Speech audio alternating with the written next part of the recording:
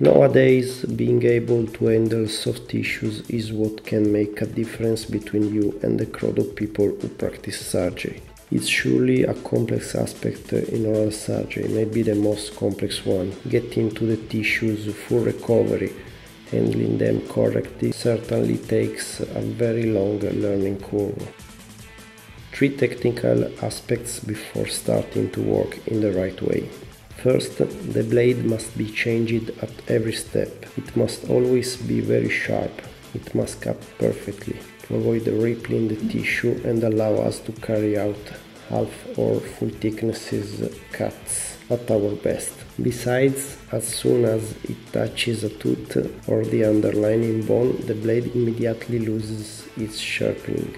So for a surgery like the one you are watching you need uh, from 6 to 10 blades. Second, tweezers must be surgical and not anatomical. Not the one tooth uh, old style surgical tweezers, but surgical tweezers like the ones you see here with uh, more teeth with wedge in the other breaks teeth. In this way the tweezers manage to keep the flap still without too much pressure, distributing the stress on various parts of the flap. In this way we won't damage the flap with uh, one two tweezers, but we'll have uh, tweezers which grip effectively on the tissue. If we use anatomical tweezers, we'd have a slipping tool. Consequently, we wouldn't be able to keep uh, the tissue still and uh, to keep it in the right position. We should squash excessively causing a compression trauma. Third and last point, oral surgery operations are often to be considered microsurgery operations and as such they are to be performed with the help of enlargements. The operation you are watching was carried out with a surgical microscope, mostly to document the case through a video. Using a microscope is not uh, necessarily required, however enlargements are essential. For instance, 3.5 binocular magnifying glasses are perfect.